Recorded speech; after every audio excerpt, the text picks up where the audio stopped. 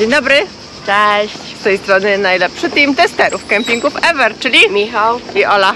Michał trochę zasmarkany i zachrypnięty, ale mimo wszystko wygrzejemy się na słoneczku, bo jesteśmy w tej chwili na kempingu Solitudo w Dubrowniku i e, nie zawahamy się przed tym, żeby Wam go pokazać. Idziemy. Jestem teraz przed recepcją. To tutaj dokonujecie check-inu, check-outu. Recepcja jest czynna od 7 rano do północy a czasami 24 godziny na dobę, więc nie ma problemu z tym, żebyście się tutaj zameldowali w jakichś późniejszych godzinach. E, To co ważne, e, to to, że kemping podzielony jest ulicą i to jest ulica miasta. E, I e, on jest podzielony na takie dwie części. Ta ulica nie jest jakaś bardzo ruchliwa, ale jak widzicie samochody nią przejeżdżają, więc e, trzeba uważać zdecydowanie na dzieci. E, Jeśli chodzi o samą recepcję, to tutaj również przy recepcji znajduje się pralnia, gdzie możecie sobie wybrać rzeczy e, oraz takie duże lodówki, które możecie sobie wynająć i trzymać w nich pożywienie. Jest tutaj też bankomat, jest jakiś automat do kawy. Tutaj mamy pralki, suszarki, jakbyście mieli potrzebę wyprasować sobie coś. I tutaj są oksy, których możecie trzymać sobie jedzenie. Co my tutaj jeszcze mamy? Mamy moje dziecko, które czeka na matkę. tak jak mówiłam, jest bankomat, jest yy, jakaś maszyna z ciepłymi napojami. No i mamy wszystkie informacje odnośnie mm, okolicy. Tutaj macie wszelkiego rodzaju mapy i miejsca warte zobaczenia yy, oraz na przykład informacje co jest w Dubrowniku, czyli taki przewodnik po knajpkach yy, w Dubrowniku. Macie infolinię, że z Dubrownika pływa y, do włoskiego Bari jadrolinia i o kiedy odpływa. Macie namiary na taksówki, wszystko co potrzeba, żebyście mogli sobie spokojnie tutaj spędzić czas. Tu jest rozkład jazdy autobusów. Przystanek autobusowy jest 300 metrów stąd i to jest rozkład autobusu linii 6, który zawozi Was pod sam pod samo Stare Miasto. No i mamy jeszcze restaurację Solitudo, która należy do kempingu, do całej tej sieci Balamar, czyli też do hoteli i apartamentów, które tutaj z tej sieci są. No i tak na szybko możemy sobie zerknąć na jakieś porównywalne y, z innymi kempingami dania. Na przykład burger kosztuje 14 euro, cewa pcici 13,30 mm, ryba z y, frytkami 14,90 także ceny takie restauracyjne, standardowe nie do końca tanie a my jedziemy dalej, nie? Tak wygląda nasza parcela. My mamy parcelę Comfort. Ona ma przyłącze zarówno do wody, jak i do prądu. Y, Część parceli jest mocno zacieniona, część ma mniej drzew. Y, Jesteśmy tutaj w środku sezonu, jest koniec lipca. Zajętych parceli jest y, mniej niż wolnych, więc nie będziecie mieli problemu, żeby znaleźć tutaj sobie odpowiednią parcelę dla siebie. Zobaczcie.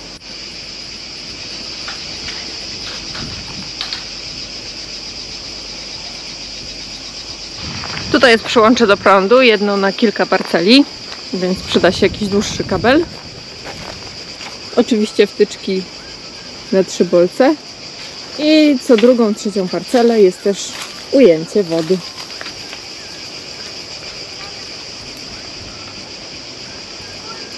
Wsiadamy teraz na rowery i przejedziemy się kilkoma uliczkami, żeby pokazać Wam położenie i zacienienie parceli.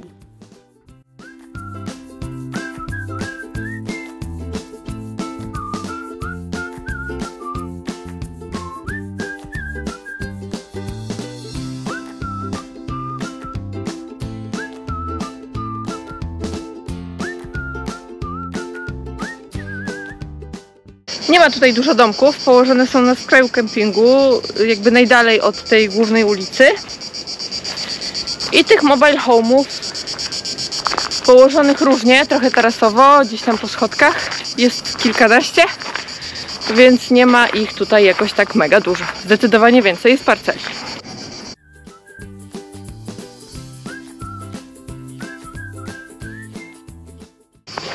Co jest fajne w tych domkach, to to, że one mają trochę swojej prywatności, bo wchodzi się po takich schodkach mm, i to jest taki jeden domek, który tam sobie stoi, pojedynczy, więc y, nie ma tak, że tych domków jest tak nawalonych, wiecie, jeden na drugim i każdy sobie w okno zagląda.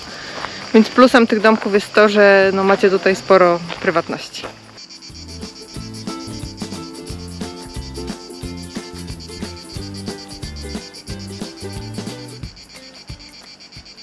Kemping leży w pobliżu dwóch plaż publicznych. Jedna jest na lewo, a druga na prawo od recepcji. Na początek wybieramy plażę Solitudo. Jak widzicie, prowadzi do niej wąska asfaltowa droga, po której poruszają się zarówno piesi i rowerzyści, jak i samochody. Dotarliśmy na publiczną plażę w Dubrowniku, która jest najbliżej kempingu. E, My tu przyjechaliśmy rowerami, zajęło nam to naprawdę 4 minuty. Pieszo jakieś 10-12 minutek i jesteście tutaj. E, Zjeżdża się, jak z góry. Gorzej w drodze powrotnej. Trzeba wjechać pod górę. No, ale y, nie będę się rozgadywać, pokażę Wam plażę. Tutaj mamy plażę dla psów. Jak widzicie, kąpią się z właścicielami w takich pięknych okolicznościach przyrody.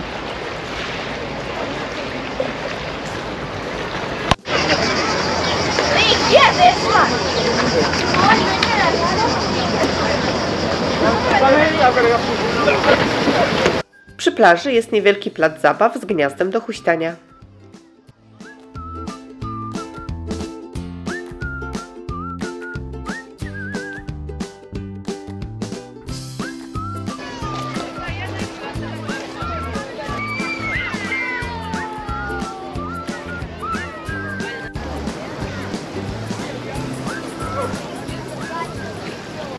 Plaży prowadzi ścieżka spacerowa wzdłuż wybrzeża. Możecie nią spacerować i podziwiać wielkie statki pasażerskie cumujące w porcie w Dubrowniku.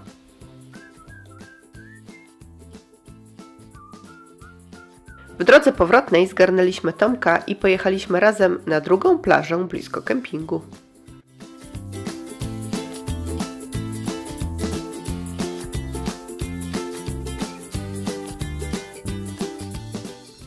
I druga z plaż, nazwana Copacabana. E, bardziej taka zorganizowana, jest jakiś bar, e, można sobie wynająć serwis plażowy, jest e, wodny plac zabaw, taki duży, oczywiście to wszystkie atrakcje są dodatkowo płatne, ale taki no bardziej, bardziej wybajeżona ta plaża. A widoki też ładne, zobaczcie.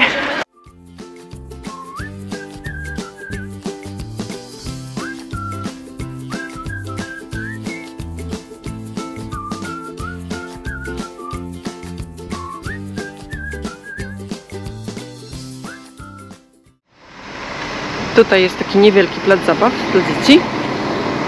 Jest teraz wcześniej rano, to jeszcze nie ma konkretnego dziecka, ale zobaczmy, co tutaj jest do dyspozycji. Ustawka, zjeżdżalnia. Tak to wygląda. A tutaj na środku kempingu jest jakiś koszmarek, yy, jakiś stary basen, który jest nieużywany, już wyłączony dawno z użytku jakaś scena, jak widzicie, która kiedyś była chyba sceną do animacji. Natomiast to wszystko jest tutaj nieczynne. Nie wiem, czy są jakieś plany, co z tym zrobić. Pytałam w recepcji, to powiedzieli mi, że nic nie wiedzą. E, Więc póki co tutaj na środku to stoi i straszy. Zakładam, że zostanie zaorane. Nie wiem, czemu nie jest w ogóle ogrodzone, że tu tak sobie można łazić. Mm, Ale no nie wygląda to fajnie.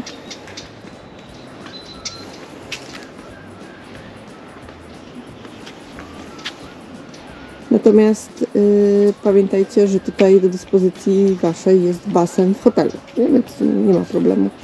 Basen jest. No, a tu jest jakiś taki koszmarek.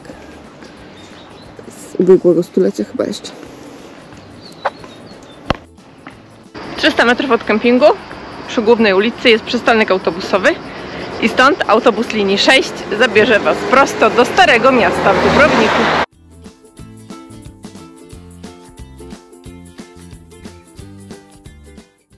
I po kilku minutach podróży wysiadacie na Starym Mieście. Dubrownik to bez wątpienia najpiękniejsze i najpopularniejsze miasto Chorwacji. Zachwyca licznymi zabytkami oraz wspaniałą starówką wpisaną na listę Światowego Dziedzictwa UNESCO. Dubrownik to idealne miejsce dla miłośników historii i zabytków. Historia Dubrownika jest niezwykle bogata. Przez lata znajdował się pod panowaniem wielu państw, królestw i cesarstw, co miało spory wpływ na jego zróżnicowaną kulturę i architekturę. Obecnie miasto jest jedną z największych atrakcji Chorwacji i nosi miano Perły Adriatyku. Warto wiedzieć, że na terenie Starego Miasta zachował się unikatowy średniowieczny układ miasta wraz z całym systemem umocnień obronnych. To tutaj znajduje się większość zabytków Dubrownika.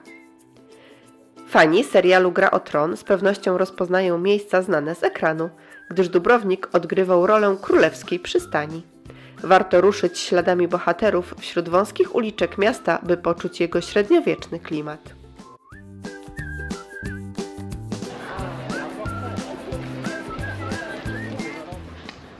Zabiorę Was jeszcze pod prysznic i do sanitariatów. Idziemy. To jest sanitariat, który jest blisko naszych parceli. Tutaj mamy miejsce do mycia naczyń i prania.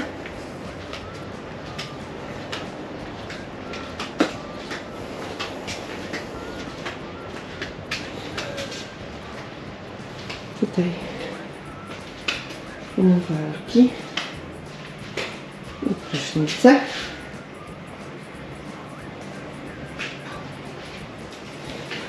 Sanitariaty. Jest wcześnie rano, trochę tu taki jest nieład, ale to jest jakaś duża grupa dzieciaków i oni tu okupują te toalety do późnych godzin wieczornych. Jako taki punkt spotkań sobie traktują. Mnóstwo, jak widzicie, takich ciuchów zostaje później. Ale... Yy, nie, no są ok, są w miarę czyste te toalety, także nie, nie mogę narzekać. Tutaj jeszcze punkt serwisowy, zrzut szarej wody i myjnia dla psów. No i będąc w tak pięknych okolicznościach przyrody przy zachodzącym słońcu na plaży Copacabana, krótko podsumuję Wam e, kemping Solitudo. Zdecydowanie jest to genialny kemping, jeśli mm, chodzi o bazę wypadową do zwiedzania Dubrownika. Przyjeżdżacie, zostawiacie kampera, przyczepę, e, namiot, e, nie wiem, samochód pod domkiem, idziecie na autobus, dojeżdżacie w 10 minut i zwiedzacie Dubrownik i po prostu o każdej porze dnia i nocy. I to jest mega na plus. Jeśli chodzi o sam kemping, moim zdaniem mocno niedofinansowany. Yy, natomiast yy, myślę, że to jest yy, chyba najsłabszy kemping sieci Valamar, na którym ja miałam okazję być. I myślę, że to się będzie zmieniać w kolejnych latach, bo zbyt fajna jest to miejscówka, żeby została taka zaniedbana. Przede wszystkim ten szpetny basen, który jest jakiś gdzieś na środku po prostu i straszy e, wszystkich kempingowiczów. Być może zostanie rozbudowana baza domków, nie wiem. E, pewnie by się przydało, bo tych domków jest naprawdę e, niewiele. Dużo więcej parceli, jak widzieliście w środku sezonu, większość stoi pustych. Także jeżeli planujecie wypad do Dubrownika, to kemping Solitudo super miejscówka. Natomiast no nie na jakieś dwutygodniowe wakacje, bo tutaj ani za bardzo w okolicy też nie ma aż tylu rzeczy do zwiedzania. No ale też i sam kemping nie oferuje dla Was żadnych atrakcji. Ja się z Wami żegnam, pakujemy się, jedziemy na kolejny kemping, a Wy bądźcie z nami, tak jak zawsze, na naszej grupie Kempingi w Europie, na www.globetrotter.com i na naszym Facebooku. Do zobaczenia.